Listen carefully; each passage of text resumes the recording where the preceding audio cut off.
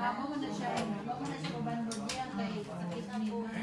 Mo na siya mabanhod kay sakit?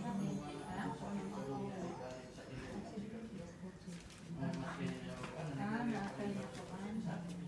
Pagkaan ni siya, puto ang bigyan. To, ana dis October, September no? Five? Kausap kami. Pagdating na October 24. Ana discussion na nito. Dito sa buwan. Dito nagwa.